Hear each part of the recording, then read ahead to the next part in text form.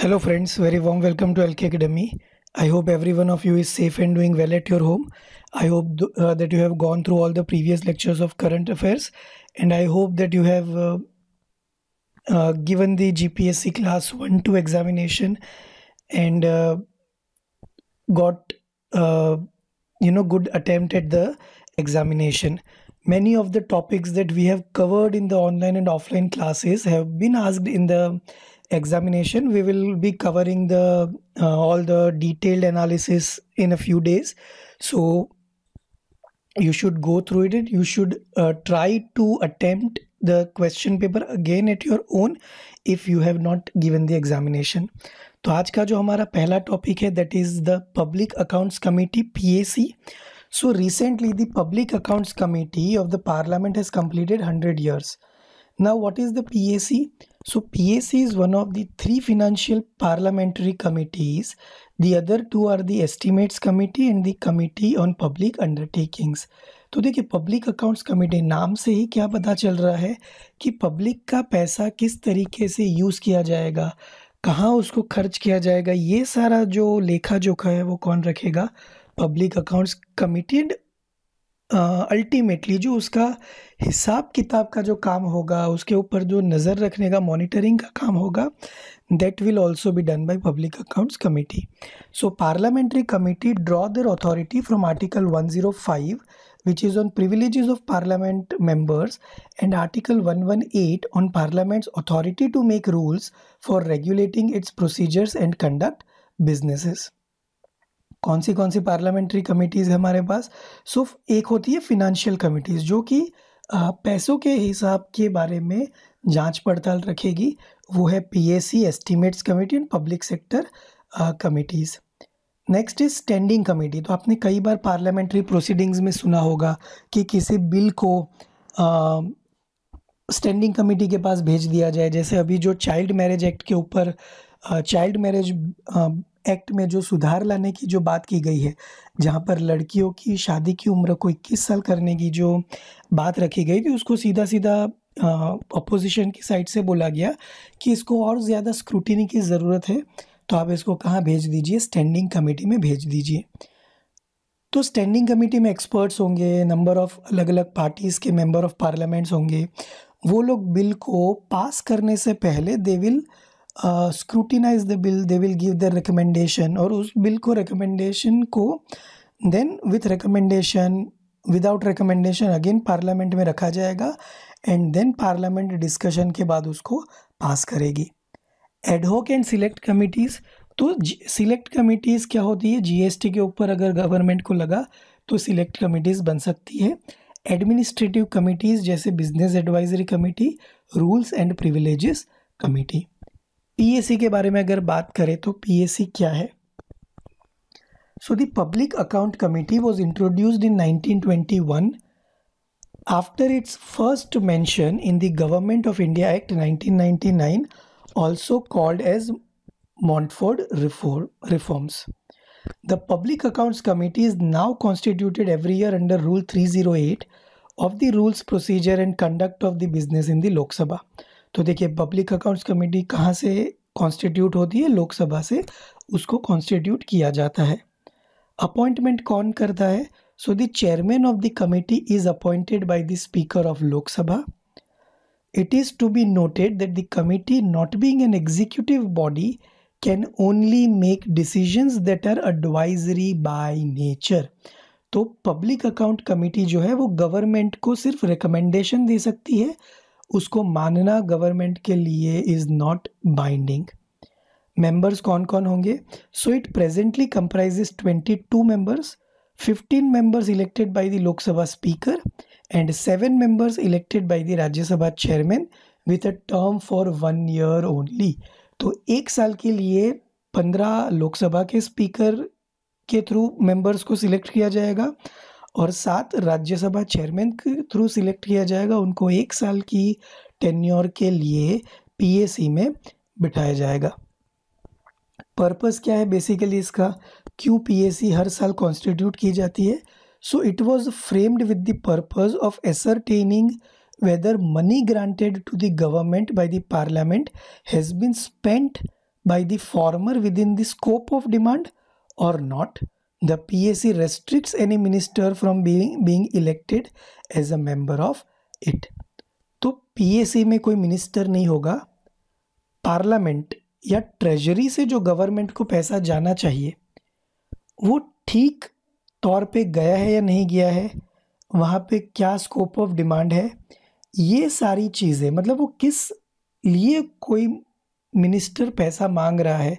या कोई मिनिस्ट्री पैसा मांग रही है पार्लियामेंट से उसको पूरी तरह से जाँच पड़ताल की जाएगी। फ़ंक्शंस क्या क्या होंगे? So to examine the accounts showing the appropriation of the sums granted by the house to meet the expenditure the annual finance accounts of the government and such other accounts laid before the house as the committee may think fit except those relating to such public undertakings as are allotted to the committee on public undertakings Apart from the reports of Comptroller and Auditor General of India eh, on appropriation accounts, of the government. The committee examines the various audit reports of the KEG on revenue receipts, expenditure by various ministries, departments of government and accounts of autonomous bodies तो ये सारे जो अलग अलग ministry के जो expenditure हो गए गवर्नमेंट डिपार्टमेंट के जो एक्सपेंडिचर हो गए तो कंट्रोलर ऑडिटर के रिपोर्ट के अलावा भी अप्रोप्रिएशन अकाउंट के जो गवर्नमेंट के होंगे, उसको भी ये कमेटी एग्जामिन करेगी। सारे पब्लिक अंडरटेकिंग को भी वो एग्जामिन करेगी। The committee looks upon savings arising from incorrect estimating और other defects in procedure no more leniently than it does upon excess okay तो बेसिकली जो काम कैक बड़े लेवल पे करता है पी ए सी वही काम माइक्रो मैनेज लेवल पे करेगी। Importance of parliamentary committee so provides forum तो parliament deliberates on matters that are complex and therefore need technical expertise to understand such matters better committees help with this by providing a forum where members can engage with domain experts and government officials during the courses of their study. तो अलग अलग parties के लोग होंगे तो ज़्यादा fair तरीके से किसी भी मैटर को या किसी भी एक्सपेंडिचर को यहाँ पे एग्जामिन किया जाएगा। Build consensus across political parties so committees also provide a forum for building consensus across political parties the proceedings of the house during sessions are televised and MPs are likely to stick to their party position on most matters. Committees have closed door meetings which allow them to freely question and discuss issues and arrive at a consensus. Examine policy issues. So committees also examine policy issues in the respective ministries and make suggestions to the government. The government has to report back on whether these recommendations have been accepted or not. Based on this, the committee then table an action taken report which shows shows the status of the government's action on each recommendation. Okay, so government ने किसी recommendation के ऊपर क्या action लिया कैसे action लिया recommendation को किस तरह से गवर्नमेंट ने टैकल किया वो सारी चीज़ें भी पार्लियामेंट को पता चलेगी so this was all about your PAC public accounts committee next जो हमारा टॉपिक है that is related to a recently brought private member bill in the parliament यहाँ पे हमें दो चीज़ें समझनी है कि व्हाट इज़ प्राइवेट मेंबर और प्राइवेट मेंबर बिल क्या होता है। तो प्राइवेट मेंबर का सिंपल डेफिनेशन ये है कि जो भी मेंबर ऑफ़ पार्लियामेंट यानी कि जो भी संसद सदस्य मंत्री नहीं है। गवर्नमेंट में किसी भी दर्जे का अगर मंत्री नहीं है if he is not a minister then that person is called private member including both the houses even if it is Rajya Sabha और लोकसभा डजेंट मैटर अगर वो मंत्री नहीं है और वो संसद सदस्य है मेंबर ऑफ़ पार्लियामेंट है तो उसको प्राइवेट मेंबर बोला जाएगा। अगर ऐसा कोई प्राइवेट मेंबर जो कि मंत्री नहीं है वो अगर गवर्नमेंट का ध्यान किसी खास मुद्दे के ऊपर लाना चाहता है if you want to draw an attention of the government to any particular public matter तो वो पार्लियामेंट में बिल ला सकता है। और रिसेंटली ऐसा ही एक बिल लाया गया है पार्लियामेंट में और इसीलिए उसको प्राइवेट मेंबर्स बिल कहा गया है and that's why we are studying about it so recently Rajya Sabha reserve its decision to allow the introduction of a private members bill to amend the preamble of the constitution ये bill को पेश नहीं होने दिया गया है। Rajya Sabha is now thinking कि भाई ऐसा बिल जाना भी चाहिए या नहीं जाना चाहिए। वाई बिकॉज़ प्रियम्बल में चेंजेस uh, करना is quite a tricky thing और आज तक सिर्फ़ एक ही बार प्रियम्बल में अमेंडमेंट किया गया है that is under forty second constitution amendment in 1976 तो एक ही बार ऐसी चीज़ की गई है बिकॉज़ प्रियम्बल इज़ द वो आपके uh, जो कॉन्स्टिट्यूशन है उसका सोल है उसका हार्ट है. So you can not change that or you should not change that in a larger perspective so recently Rajya Sabha reserve its decision to allow the introduction of a private private bill to amend the the to the constitution. The bill seeks to change the words in the preamble equality of status and of opportunity to equality of status and opportunity to be born, to be fed, to be educated, to get a job and to be treated with dignity. तो देखिए basically क्या है कि जो ये phrase of words है या ये जो पूरा फ्रेज है equality of status and of opportunity उसको बदल कर क्या करने का प्रपोजल रखा गया है that needs to be changed to equality of status of and opportunity to be born to be fed to be educated to get a job and to be treated with dignity और ये जो ruling party है उन्हीं के एक member of parliament की तरफ़ से ये बिल लाया गया है amendability of preamble so as a part of the constitution or we already know in a Keshwananda Bharati case, Supreme Court has derived that preamble is a part of constitution और parliament के पास जितने powers constitution को amend करने के लिए है उतने ही पावर्स प्रियम्बल को अमेंड करने के लिए भी है। But just because you have the power that doesn't mean that you should frequently change it so as a part of the constitution the preamble can be amended under article 368 of the constitution but the basic structure of the preamble can not be amended As per the Supreme Court verdict in the Keshwananda Bharati versus State of Kerala 1973, Parliament cannot change the basic doctrine of the Constitution or basic structure of the Constitution As of now, the preamble is only amended once through the 42nd Amendment Act 1976. और आप जब polity पढ़ते हो तो you already know that forty second amendment in the constitution is the is called mini constitution क्योंकि उसमें बहुत सारे चेंजेस किए गए थे और प्रियम्बल में क्या चेंज किया गया था? So it added three new words to the preamble that is socialist secular and integrity तो ये तीन वर्ड्स ऐड किए गए थे इन दी प्रियम्बल क्या है private member bill so any member of parliament who is not a minister is referred to as a private member simple सा definition है। अगर कोई मेंबर ऑफ़ पार्लियामेंट मंत्री नहीं है मिनिस्टर नहीं है तो उसको प्राइवेट मेंबर कहा जाएगा। Its drafting is the responsibility of the member concern its introduction in the house requires one months notice अब देखिए कि बाकी, अगर इसको प्राइवेट मेंबर बिल बोलते हैं तो बाकी के जो रेगुलर बिल्स आते हैं उसको आप क्या बोलोगे? तो उसको आप बोलोगे पब्लिक बिल्स तो there is a basic difference between public bill and private bill private bill किसी प्राइवेट मेंबर की तरफ़ से लाया जाएगा जबकि पब्लिक बिल गवर्नमेंट के किसी मिनिस्टर uh, की तरफ़ से लाया लाया जाएगा which will put the stand on a particular matter or policy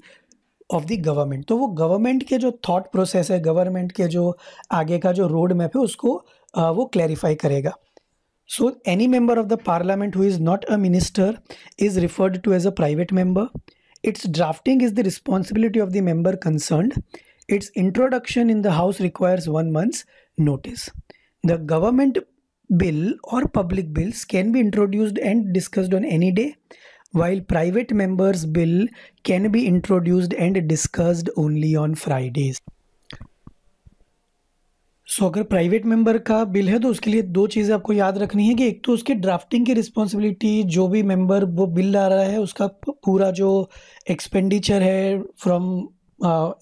every each and drafting responsibility वो उस पर्टिकुलर मेंबर ऑफ़ पार्लियामेंट की रहेगी। जबकि अगर कोई member of parliament who is a private member वो अगर कोई बिल पेश करना चाहता है तो उसको सिर्फ़ फ्राइडे का स्लॉट मिलेगा। जबकि सामने अगर कोई पब्लिक बिल है तो पब्लिक बिल जो कि कोई मिनिस्ट्री की तरफ़ से लाया जाएगा,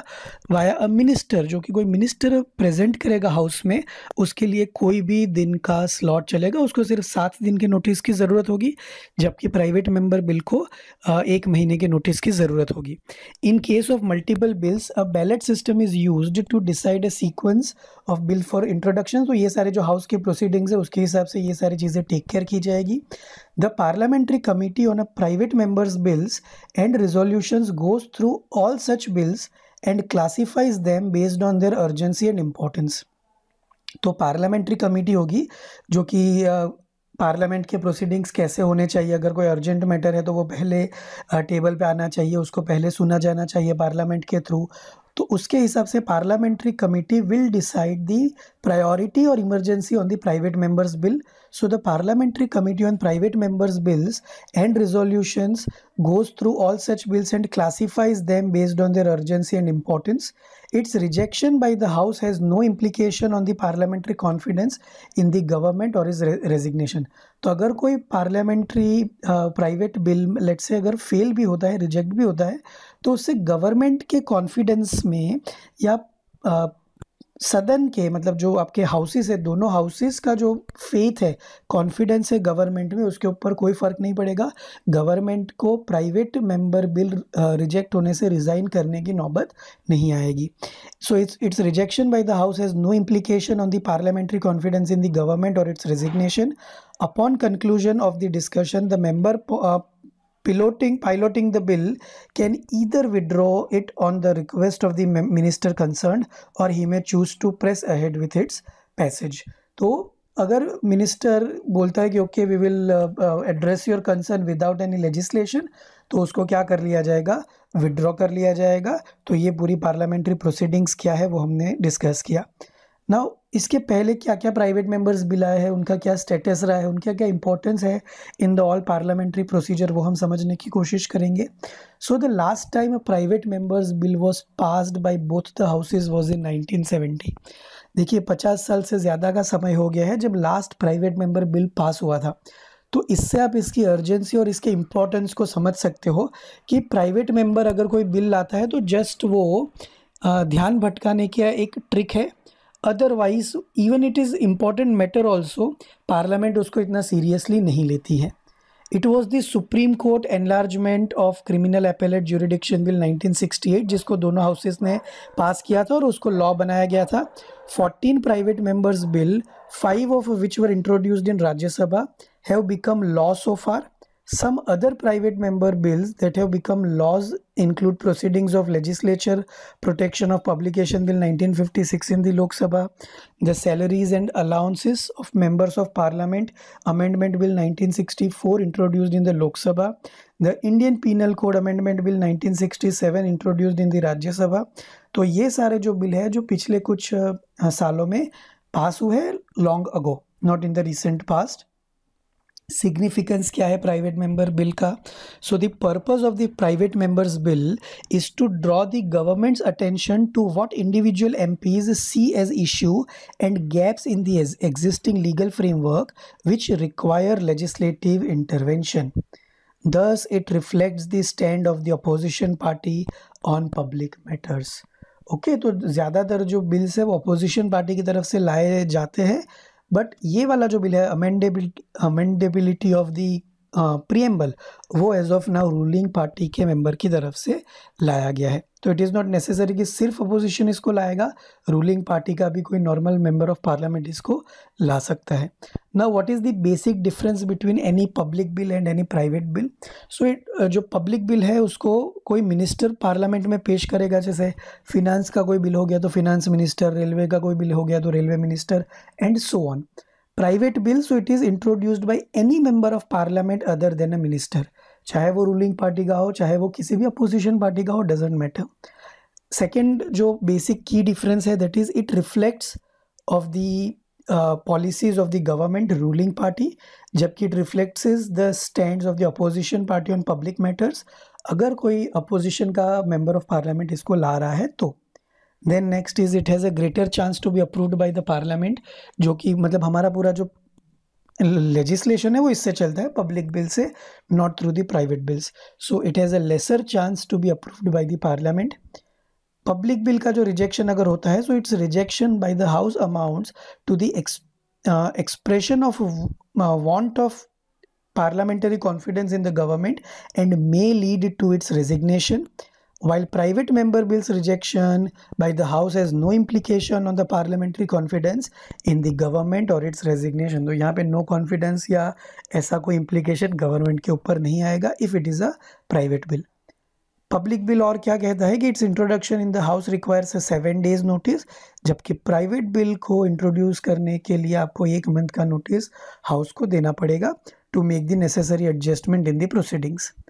last is it is drafted by the concern department in the consultation with the law department और जबकि it is drafting is the responsibility of the member concern तो अगर प्राइवेट मेंबर कोई बिल लाता है तो उसके पूरी ड्राफ्टिंग की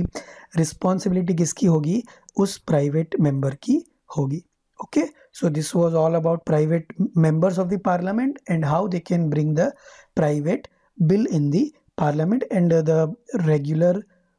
regulation in the parliament regarding this next जो हमारा टॉपिक है that is Pradhan Mantri Shram Yogi Maandhan pension scheme तो नाम से ही पता चल रहा है कि श्रम योगी मतलब जो अनऑर्गेनाइज्ड सेक्टर में जो लोग होंगे उनके लिए एक किस्म का पेंशन स्कीम गवर्नमेंट की तरफ़ से स्टार्ट करवाया गया है। So according to the Ministry of Labour and Employment nearly 46 lakh unorganised workers have been registered under the Pradhan Mantri Shram Yogi Maandhan pension scheme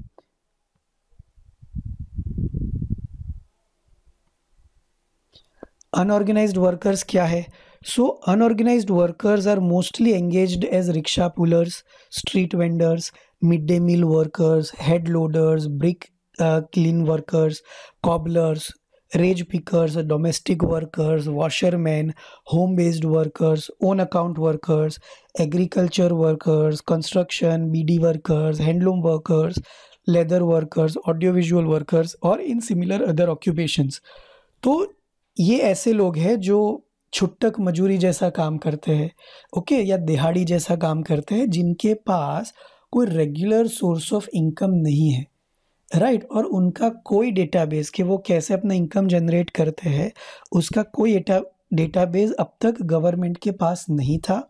recently government ने उसका database बनाया है by through e Shram portal if you remember we have discussed long ago e Shram portal के थ्रू उसका database बनाया गया है और उसके बाद पेंशन स्कीम को स्टार्ट किया गया है। So there are estimated 45 crore such unorganise workers in the countries ऐसे 45 करोर लोग हैं एस्टिमेटेड कि जो अनऑर्गेनाइज सेक्टर में काम करते हैं। सो so, प्रधानमंत्री Shram Yogi Maandhan Yojana is a central sector scheme देखिए, अब सेंट्रल सेक्टर स्कीम का मतलब क्या है कि जो पूरा फंडिंग जो होगा वो सेंट्रल गवर्नमेंट की तरफ़ से दिया जाएगा। So is a central sector scheme administered by the ministry of labour and employment and implemented through life insurance corporation of India and community service centres LIC, which is Life Insurance Corporation, is the pension fund manager and responsible for pension payout. तो pension पूरा किसकी तरफ़ से handle किया जाएगा? L I सी की तरफ़ से हैंडल किया जाएगा। एलिजिबिलिटी क्या है? अगर आपको इस स्कीम में रजिस्ट्रेशन करवाना है तो या इसका फ़ायदा उठाना है तो so should be an unorganise worker तो जो भी इंसान या जो भी इंडियन सिटीज़न इसके लिए रजिस्ट्रेशन करवा रहा है ही और she should be an unorganised worker मतलब वो अनऑर्गेनाइज्ड सेक्टर में काम करता होना चाहिए, जो कि गवर्नमेंट के डॉक्यूमेंट में लिखा गया है। That this has been recognised an unorganised sector few of the examples we have seen monthly income should be fifteen thousand or below entry age between eighteen and forty years should possesses a mobile phone savings bank account and Aadhaar number, ताकि उसको आधार number के साथ link किया जा सके और जो duplication जो होता है वो यहाँ पे ना हो। Should not be covered under new pension scheme, employees state insurance corporation scheme or employees provident fund organisation. तो देखिए, जनरली जो लोग बड़ी बड़ी कंपनीज़ में काम करते हैं, इंडस्ट्रियल सेक्टर में काम करते हैं, उनकी कंपनी के थ्रू उनका एक पीएफ अकाउंट जनरेट होता है और उनकी मंथली सैलरी से हमेशा उनका पीएफ कटता है डिडक्ट होता है। तो अगर आप उसमें से किसी एक पेंशन स्कीम का अगर रजिस्ट्रेशन आपने किया हुआ है so you can not so you are not ultimately you are not unorganise worker और जब आप अनऑर्गेनाइज वर्कर नहीं हो तो आप इस स्कीम का फ़ायदा नहीं उठा सकते। Should not be an income tax payer तो अगर आपका पंद्रह हज़ार या उससे कम का अगर इनकम होगा तो आप इनकम टैक्स पे नहीं करोगे that is but obvious so these are some of the eligibilities इस पर्टिकुलर स्कीम के फीचर्स क्या है? सो so, ये स्कीम आपको मिनिमम अश्योर्ड पेंशन का वादा करती है। So each subscriber of the scheme shall receive a minimum assured pension of rupees three thousand per month after attaining the age of sixty years family pension का भी plan है। So during the receipt of the pension if the subscriber dies okay अगर वो sixty year के पहले ही मतलब premium भरने के ड्यूरेशन में अगर उसकी डेथ हो जाती है, जो कि एक्चुअल सब्सक्राइबर है, जो ओरिजिनल सब्सक्राइबर है so during the receipt of the pension if the subscriber dies the spouse of the beneficiary shall be entitled to receive fifty percent of the pension received by the beneficiary as a family pension family pension is applicable only to spouses if a beneficiary has given regular contribution and died due to any cause before age of 60 years his or her spouse will be entitled to join and continue the scheme subsequently by payment of regular contribution or exit the scheme as per the provisions of exit and withdrawal तो ये सारे option भी government ने दे के रखे हैं कि अगर डेथ हो जाती है तो आप फिफ्टी परसेंट विदड्रॉ कर सकते हो एंड बाकी का पैसा आपको पेंशन के तौर पर दिया जाएगा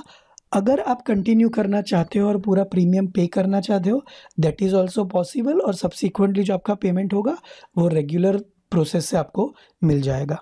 कंट्रीब्यूशन कैसे देना है? So the subscriber's contribution shall be made through auto debit facility from his or her savings bank account Jan Dhan account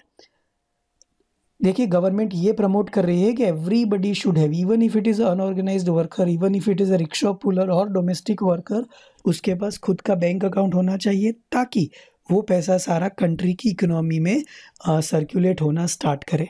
और जो मिडल मैन जो है, जिसकी वजह से अल्टीमेट जो बेनिफिशियरी उस तक फ़ायदा नहीं पहुँच पाता, उन लोगों के ऊपर यहाँ रोक लगाई जा सके। So the subscriber's contribution shall be made through auto debit facility from his or savings bank account and Jan Dhan account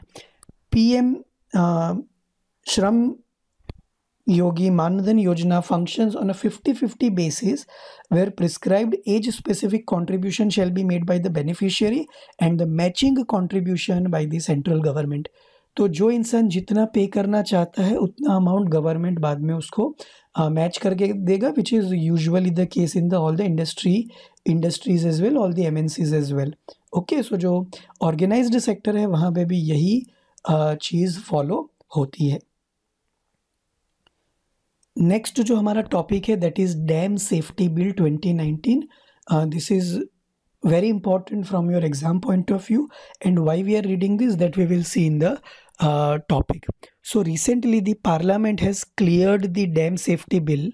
2019 for surveillance inspection operation and maintenance of all specified dams across the country अब देखिए 2020 में एक report आया था United Nations का on the ageing dams ageing ageing dams का मतलब क्या है? कि जो डैम्स की एज हो चुकी है जो डैम्स काफ़ी पुराने हो चुके हैं. इंडिया में काफ़ी सारे डैम्स हैं, उनको आज से सौ साल पहले या पचास साल पहले या in between fifty to hundred years पहले बिल्ड किया गया था. अब उस टाइम पे इतनी ना तो हमारे पास टेक्नोलॉजी थी, ना ही उस टाइम पे हमारे पास इतनी एफिशिएंट थी एफिशिएंसी थी. उसकी वजह से अब क्या हो रहा है कि अब जो डैम्स है वो अपनी जो उम्र है, अपनी जो एज है उसको क्रॉस कर चुके हैं। Now they are serving us in extra days और एक्स्ट्रा ईयर्स इसकी वजह से क्या हो रहा है कि एक बहुत बड़ा रिस्क है कि वो डैम कभी भी फेल हो सकता है, टूट सकता है, उसको मेंटेनेंस की ज़रूरत है और उसको नई टेक्नोलॉजी के हिसाब से उसको अपग्रेड करने की ज़रूरत है। क्यों क्योंकि जब तक आप नई टेक्नोलॉजी के साथ उसको अपग्रेड नहीं करोगे your dams efficiency will be low और आपका जो उसके ऊपर खर्च है मेंटेनेंस का वो ज़्यादा बढ़ता रहेगा which will ultimately create a huge loss in the government expenditure so recently the parliament has cleared the dam safety bill 2019 for surveillance, inspection, operation and maintenance of all specified dams across the country. Salient features of the bill क्या है? So so, इस bill में ये बताया गया है कि भाई national committee on dam safety एक बनाया जाएगा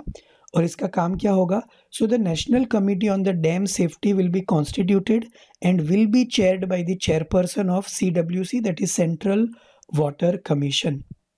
Functions of the committee will include formulating policies and regulations regarding dam safety standards and prevention of dam failures and analyzing the causes of ma, major dam failures and suggesting changes in dam safety practices. तो इसका, ये committee basically जो regulations है, जो minimum standards है dam safety के लिए, उसको रेगुलेट करेगी, उसको फ्रेम करेगी और जितने भी डैम्स अथॉरिटी है स्टेट वाइज या डिस्ट्रिक्ट वाइज उसको, ये सारे रेगुलेशंस को फॉलो करना पड़ेगा so this will be like the umbrella Agency for the dam safety So functions of the committee will include formulating policies and regulations regarding dam safety standards and prevention of dam failures and analyzing the causes of major dam failures and suggesting changes in the dam safety practices. National Dam, Dam Safety Authority banaya jayega. So the bill also envisages setting up of a National Dam Safety Authority to be headed by an officer not below the rank of an additional secretary to be appointed by the central government. The main task of the National Dam Safety Authority includes implementing the policies formulated by the national committee on dam safety तो ऊपर वाली जो हमने committee की बात की national committee on dam safety उन्होंने जो रेगुलेशन बना है उसको इम्प्लीमेंट करने का काम कौन करेगा national dam safety authority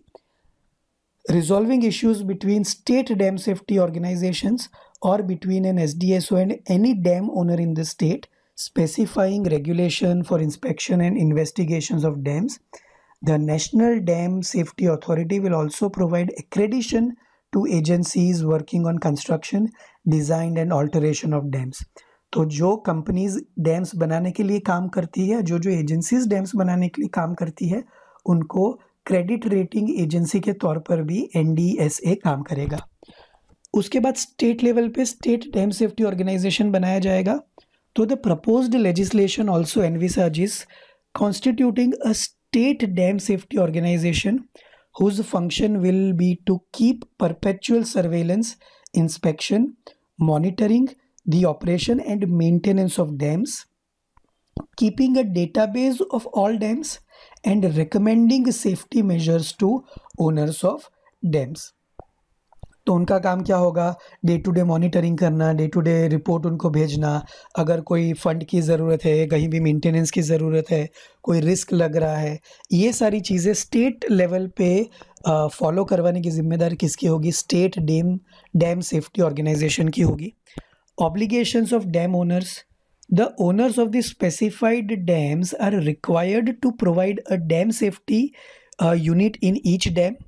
This unit will inspect the dams before and after the monsoon session and during and after every earthquake, flood or any other calamity or sign of distress. होता है ना कि dams में कई कई छोटी छोटी cracks होने लगती है तो ऐसी सारी जो रिस्क है risk analysis after and before the natural calamity or any other kind of risk वो किसका काम होगा? डैम ओनर्स का काम होगा। Dam owners will be required to prepare an emergency action plan and carry out risk assessment studies for each dam at specified regular intervals. तो हर दो महीने में, हर तीन महीने में रेगुलर इंटरवल्स पे जो कि डिसाइड किया जाएगा हायर अथॉरिटीज़ की तरफ़ से, उस पर इसको क्या करना है? रेगुलर चेकिंग करना है इंस्पेक्शन करना है। Dam owners will also be required to conduct a comprehensive dam safety evaluation of each dam at regular intervals through a panel of experts. Punishment क्या मिलेगा अगर ये सारी चीज़ों में ब्रीच होता है तो so the bill provides for two type of offences obstructing a person in the discharge of his functions and refusing to comply with directions is issued under a proposed law तो अगर कोई agency किसी particular law को मानने से या particular instruction को मानने से इनकार करती है तो that will be a punishable offence offenders will be punishable with imprisonment of up to one year or a fine or both if the offence leads to loss of lives the term of imprisonment may be extended up to two years offences will be cognizable only when the complaint is made by the government or any authority constituted under the bill तो अगर government या जो authority की हमने बात की state dam safety organisation या national dam safety authority या national committee on dam dam safety अगर वो लोग कंप्लेन रेस करते हैं किसी पर्टिकुलर ऑफिसर की तरफ़ तो वो ऑफेंस क्या हो जाएगा? कॉग्निजेबल हो जाएगा। नीड क्या थी इसकी? तो पहला रीज़न था कि एजिंग ऑफ़ डैम्स हमारे जो डैम्स है now they can not survive for long if their safety, their efficiency are not addressed. So, India is the third largest dam owning country. There are 5,745 reservoirs in the country, out of which 293 are more than 100 years old. देखिए 293 dams हमारे देश में ऐसे हैं जिनको 100 साल पहले बनाया गया था नाव यू कैन इमेजिन कि 100 साल पहले ना तो हमारे पास ऐसे साइंस था ना ही ऐसे टेक्नोलॉजी थी। तो उसकी वजह से उस टाइम पे जो लेटेस्ट टेक्नोलॉजी थी, उसको यूज़ करके हमने डैम्स बना दिए, जो कि हमको आज तक हेल्प कर रहे हैं। बट नाउ दैट उनकी एक जो अपर लिमिट थी, वो क्रॉस हो चुकी है सेचुरेशन पॉइंट आ चुका है तो अब उसको दुरुस्त करने की ज़रूरत है। So India is the third largest dam owning country then five thousand reservoirs in the country out of which two ninety three are more than hundred years old There are a number of challenges to the dam safety and some are mainly due to the age of the dams. As the dams becomes old, their design, their hydrology and everything else do not remain at par with the latest understanding and practices. Huge siltation is taking place as a result of which the water holding capacity of dam is getting reduced dependency on dam managers. So the regulation of dams is entirely dependent upon the individual dam managers. There is no systemization and no actual understanding in terms of the downstream water requirement or the kind of flaws that are already there. तो system में जो gaps है उसको अभी तक हमने address ही नहीं किया अभी तक हमको उसकी ज़रूरत महसूस नहीं हुई but now that we are uh, we have advanced technologies we have better monitoring tools in place ये सारी चीज़ें हम अब सुधार सकते हैं factors not considered so dam safety is dependent upon many factors such as landscape land use change pattern of rainfall structural features etc all these factors have not been taken into consideration by the government in ensuring the dam safety of a dam तो आज से सौ साल पहले जब government ही नहीं थी तो उस टाइम के लोगों ने क्या ही सोच के डैम्स बनाए होंगे। उस टाइम पे पॉपुलेशन कम था। आ, तो ये सारी चीज़ें कंसिडर नहीं की गई जिसको आज कंसिडर करना इज़ वेरी रेलिवेंट सिग्निफिकेंस क्या है ऐसे बिल्स लाने का? So it will bring the uniformity पूरे देश में एक स्टैंडर्ड लागू कर दिया जाएगा और उसी सेफ्टी स्टैंडर्ड के अकॉर्डिंग अगर कोई डैम पास होता है तभी उसको बनाया जाएगा उसको कंस्ट्रक्ट किया जाएगा। Otherwise that particular dam can not be constructed so the government wants that there should be a uniformity of procedures which is followed by all dam owners for a particular type of large dams provides strict guidelines. So water is a state subject and the bill in no way takes away the authority of the state. The bill provides guidelines and a mechanism to ensure that the guidelines are followed. There are many protocols including pre and post monsoon inspections for ensuring dam safety. However, as of now, these protocols are not legally mandated and the agencies concerned, including central and state dam safety organizations, have no powers to enforce them. तो अभी जो agencies है those are almost obsolete agencies कि उनके पास कोई ज़्यादा powers नहीं है क्वालिटी भी इंश्योर होगी ऐसे लेजिस्लेशन के आने से so far the professional efficiency of various contractors designers and planners have never been evaluated okay, जो गवर्नमेंट को पैसा खिलाता था, उसको मिल जाता था और डैम वो बना देता था। नाउ, टेंडर प्रोसेस को ज़्यादा ट्रांसपेरेंट बना दिया गया है। So so far the professional efficiency of various contractors designers and planners has never been evaluated and that is the reason why India's dams today have a design problem The bill provides a mechanism where accreditation of the people who are really going to take part in the construction and maintenance has to be taken care of. तो अब government पहले समझेगी कि आप किस तरह का design बना रहे हो, किस तरह का लैंडस्केप है आपका, क्या कॉस्ट होगा, बाकी कंपनीज़ के क्या आइडियाज़ है, उसमें से जो बेटर आइडिया होगा जो कॉस्ट इफ़ेक्टिव आइडिया होगा, उसको इम्प्लीमेंट किया जाएगा। सिक्योरिटी बढ़ेगी तो dams are prone to to and and for their safety is very important the bill provides for the formulation of dam safety standards as well तो ये काफ़ी हाई नीड था गवर्नमेंट के लिए और हमारे लेजिस्लेशन के लिए। आफ्टर यूएन रिपोर्ट इसका जो इमरजेंसी था वो बहुत ज़्यादा बढ़ गया था। Still government to almost you know nine to ten months क्योंकि फेब्रुवरी में वो रिपोर्ट आया था 2020 में एंड गवर्नमेंट uh, ने लेजिस्लेशन बनाने में काफ़ी टाइम लगा दिया। अल्टीमेटली कोरोना की वजह से उसको एक डेढ़ साल बाद लाया जा रहा है इन दी पार्लियामेंट और पार्लियामेंट ने इसको पास कर दिया है रिसेंटली कॉन्स्टिट्यूशनल वैलिडिटी क्या रहेगी बिल की? So although water is under the state list तो यहाँ पे थोड़ा पेज है कि although water is under the state list entry seventeen the centre has brought the legislation under article 246 of the constitution that is with entry 56 and 97 of the union list. so this you can link with your polity subject. State list का entry 17 में क्या कहा गया है? That water that is to say water supplies irrigation canals drainage and embankments water storage and water power subject to provision of entry list of list one मतलब वो state list है। Entry fifty six of the list one allows parliament to make laws on the regulation of inter state rivers and river valleys if it declares such regulation to be expedient in public interest तो state अपने irrigation uh, के लिए अपने water supplies के लिए state के under आएगा but अगर कोई रिवर मल्टीपल स्टेट से अगर जा रही है तो that then it will become a water then it will become a central list तब जाके वाटर क्या हो जाएगा? सेंट्रल लिस्ट का इश्यू बन जाएगा। Article 246 forty six empowers parliament to legislate on any matter enumerated in list one of the union list in the seventh schedule of the constitution entry ninety seven allows parliament to legislate on any other matter not enumerated in the list 2 or list 3 including any text not mentioned in either of those list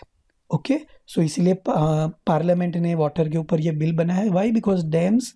are the purview of the particular central government okay चलिए तो ये सारी बात की हमने UN report के बारे में और यूएन रिपोर्ट के बेस पे इंडियन पार्लियामेंट ने एक्शन ले लिया है। So now the dam safety will be the issue of utmost focus for the government next जो हमारा टॉपिक है that is the easy one exercise Ekuverin so recently the eleventh edition of joint military exercise Ekuverin India and Maldives has been started at uh, Kadu Island in Maldives. Earlier, the 15th edition of the biannual trilateral Coast Guard exercise Dosti involving India, the Maldives and Sri Lanka was held in the Maldives. Okay okay, तो देखिए Indian government ने joint military exercise की है एक्वेरिन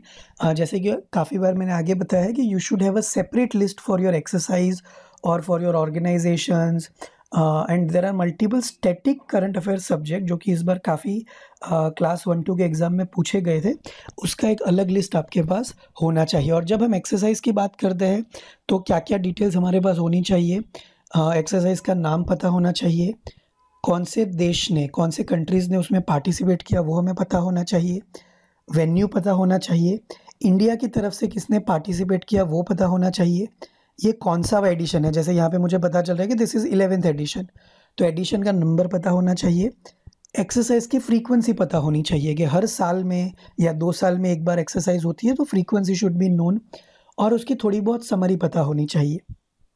उसका type पता होना चाहिए। That is a military exercise air force exercise और नेवी एक्सरसाइज या कोस्ट गार्ड एक्सरसाइज ओके तो इतनी डिटेल जब आपको पता होगी then you will surely answer at least two two three question in your any examination जब वो एक्सरसाइज से रिलेटेड पूछा जाएगा। So recently the eleventh edition of joint military exercise Ekuverin between India and Maldives has been started at Kadhdhoo island Maldives earlier the fifteenth addition of by annual tri trilateral coast guard exercise Dosti involving India Maldives and Sri Lanka was held in the Maldives तो मालदीव्स के साथ recently हमने coast guard की exercise भी की, जो श्रीलंका के साथ भी थी, और हमने मिलिट्री एक्सरसाइज की Ekuverin So India and Maldives have been conducting exercise Equivarin meaning friends in the Maldivian language since 2009 तो Equivarin का मतलब क्या होता है friends in the Maldivian language जो कि 2009 से start की गई The 14 day joint exercise is held alternatively in India and Maldives. It focuses on enhancing interoperability between the two forces for carrying out counter-insurgency and counter-terrorism operations in a semi-urban environment under the United Nations mandate. This year's exercise will also include cultural and sports activities to enhance defense cooperation and bilateral relations this exercise will go a long way in strengthening India's relation with Maldives amidst emerging security dynamics in the Indian ocean region तो India काफ़ी मदद कर रहा है मालदीव्स को ताकि China Maldives के ऊपर हावी ना हो जाए और इंडिया का जो फॉरेन पॉलिसी है, पूरा डिफेंस को लेकर, वो हम स्ट्रेंदन करना चाहते हैं मालदीव्स को साथ लेकर। So this is the easy topic next एक और छोटा सा टॉपिक हम आज के लिए कवर करेंगे that is Mount Semeru volcano so recently Mount Semeru volcano in the Indonesia has erupted which killed at least fourteen person and left dozen of injured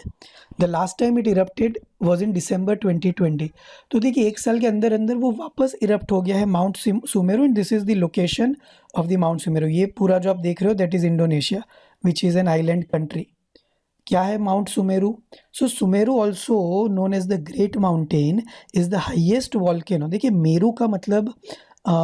Sanskrit language में पर्वत होता है माउंटेन होता है। ओके okay, सो so हमारे जो cultural ties है Indonesia के साथ रामायण एरा से वो काफ़ी डीप रूटेड कल्चरल टाइज हम इंडोनेशिया के साथ कह सकते हैं। So Semeru also known as the great mountain is the highest volcano in Java and one of the most active volcanoes Semeru volcano is also the part of the island arcs formed by the uh, subduction of the Indo-Australian plate below Sunda plate, part of Eurasian plate.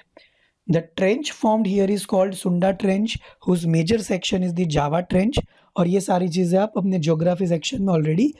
you have covered this part different kind of plates कौन से country कौन से plate पे बैठे हैं हिमालय कैसे generate हुआ uh, सात जो ओशन है, वो कैसे बने हैं, ये सारी चीज़ें भी ऑलरेडी कवर्ड सो इंडोनेशिया में और कौन से वॉल्केनो है? So Indonesia with the maximum number of active volcanoes in the world is prone to seismic upheaval due to its location of the Pacific's ring of fire ना what is specific ring of fire तो ये जो dark orange colour में आपको जो part दिख रहा है that is specific ring of fire और यहाँ पे मल्टीपल प्लेट्स एक दूसरे को ओवरलैप करती है और इसीलिए सबसे ज़्यादा एक्टिव वॉल्केनो दुनिया के इस रीजन में आपको देखने को मिलेंगे। So, the ring of fire, also referred to as the circum-Pacific belt, is a path along the Pacific Ocean characterized by active volcanoes and frequent earthquakes. Its length is approximately 40,000 kilometers. It traces boundaries between several tectonic plates, including the Pacific, Cocos, Indo Indian, Australian, Nazca, North American, and Philippine plates. 75% of Earth's volcano uh, more than 45 volcanoes are located along the ring of fire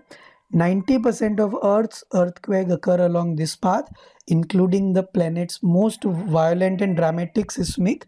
events. Okay so this is the easy topic or uh, let me know if in, in case of any doubt. Till that time stay home stay safe stay happy. Thank you